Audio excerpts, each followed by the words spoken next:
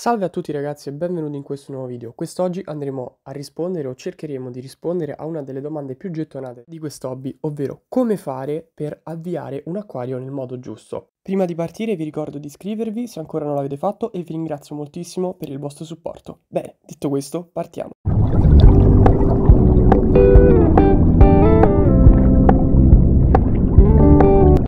Eccoci qui. Allora, come fare per avviare un acquario nel modo corretto? Allora, per avviare un acquario nel modo corretto dobbiamo capire che il nostro acquario è come un ecosistema, è come un pianeta su cui noi dobbiamo portare la vita. Perciò la prima cosa che vi posso consigliare e che serve ad ogni nuova persona che si sta affacciando a questo hobby, tanta tanta pazienza. E prima di mettermi a parlare del ciclo dell'azoto, che magari è qualcosa che avete sentito spesso riguardo a questo argomento, vi voglio dare un consiglio che non sento spesso dare, ma che secondo me è fondamentale. La prima cosa da fare quando volete allestire un acquario è misurare i valori della vostra acqua o di rubinetto o di quella che volete utilizzare nel vostro acquario. Infatti dobbiamo assicurarci prima di tutto che i valori dell'acqua che volete utilizzare siano idonei alla vita, ma oltre a questo dobbiamo vedere se i valori della vostra acqua rispettino quelle che sono le esigenze della specie che volete allevare. Per esempio, io ho dell'acqua molto dura e quindi ho visto che in acqua dura posso allevare o dei pesci rossi, degli oranda, che attualmente allevo, oppure delle caridine, che sono eh, dei piccoli gamberetti appunto di acqua dolce. Bene, detto questo, per facilitare eh, l'allevamento di una specie, magari potete vedere l'acqua che avete e in base all'acqua che avete vedere quale specie magari è più idonea a quei valori. Altrimenti se la vostra acqua che volete usare non è idonea ad allevare quella determinata specie, la dovrete costruire voi, magari prendendo dell'acqua di osmosi e costruendola con dei sali. Per esempio se io ho dell'acqua dura e voglio allevare un beta splendens non potrò farlo perché i beta splendens, chiamati anche pesce combattenti, vogliono dell'acqua acida, dell'acqua che abbia valori diversi da quella che ho attualmente, per questo non andrà bene. È importantissimo perciò, prima di avviare il nostro acquario, sapere che la nostra acqua sia sicura per i pesci che andremo ad allevare. Il secondo consiglio che posso eh, darvi è sicuramente quello di comprare questi tre prodotti essenziali per ogni acquario, che sono un filtro, sicuramente perché se siete principianti vi servirà assolutamente. Possono esistere anche acquari senza filtro, ma avremo bisogno di una quantità di piante molto importante che di solito non si riesce ad avere, soprattutto se si è principianti. La seconda cosa di cui avrete bisogno è un attivatore batterico perché eh, quando abbiamo un acquario i batteri sono i nostri amici che ci aiuteranno a gestire le sostanze tossiche e pericolose e un biocondizionatore se usate acqua di rubinetto o acqua che non sapete che sia sicura per i vostri pesci. Adesso andremo a spiegare passo passo a cosa servono questi prodotti. Allora, prima di avviare un acquario avrete bisogno all'incirca di un mese. Perché questo famoso mese?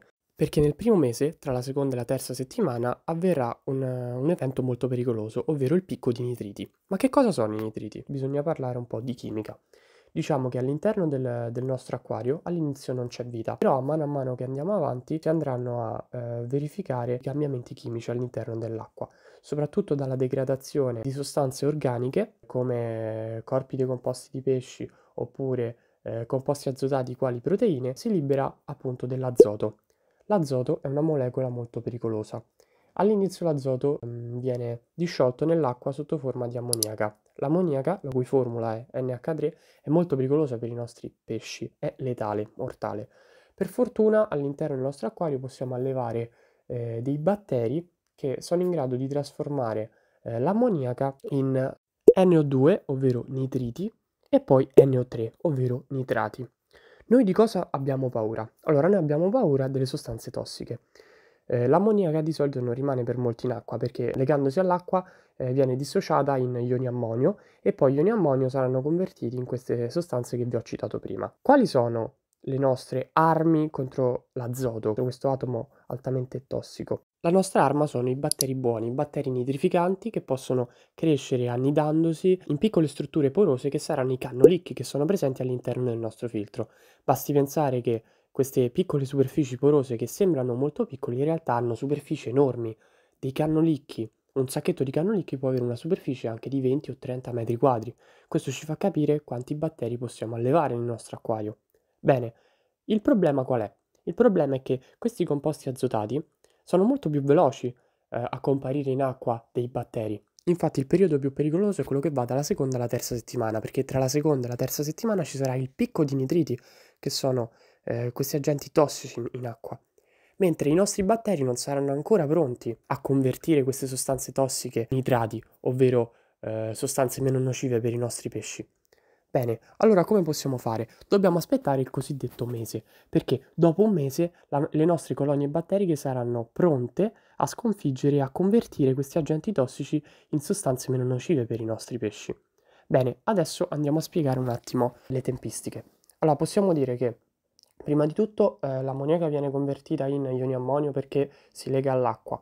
Eh, poi vi sono eh, i batteri che possono trasformare eh, lo ione ammonio in nitriti, NO2. I nitriti sono molto pericolosi in acquario, infatti la concentrazione all'interno di un acquario deve eh, essere portata al di sotto del milligrammo litro perché sono altamente tossici. Bene, una volta che noi avremo allevato e avremo nostra, il nostro carico batterico, quindi all'incirca dopo i primi 30 giorni, i batteri saranno in grado di convertire questi nitriti in nitrati. Bene, i nitrati eh, sono già delle sostanze che sono molto sopportate, sono sopportate ampiamente dalla flora, dalla fauna di un acquario. Le loro concentrazioni possono aggirarsi tra i 20 e i 30 mg litro a seconda della specie e dalla capacità dei pesci di adattarsi. Quindi, detto questo, è importantissimo che questi batteri abbiano eh, il tempo per stabilizzarsi e per crescere bene. Per fare questo dovremo usare i due prodotti che ho citato prima, ovvero un attivatore batterico, che è appunto un prodotto che ci aiuterà a allevare queste colonie di batteri perché è formato da bacilli vivi e da grandi quantità di batteri che ci aiuteranno a colonizzare il nostro filtro. L'altro prodotto è il biocondizionatore perché è importantissimo purificare l'acqua in cui andremo a coltivare questi batteri, perché se usate acqua di rubinetto, nell'acqua di rubinetto c'è un agente eh, altamente pericoloso per la crescita dei batteri che è il cloro, perché il cloro è un potentissimo disinfettante. Perciò se cercate di far crescere i vostri batteri in dell'acqua di rubinetto piena di cloro, il cloro andrà a uccidere tutti, tutte le vostre colonie batteriche e quindi non raggiungerete mai una maturazione dell'acquario. Per far maturare il vostro acquario ai batteri servirà del cibo.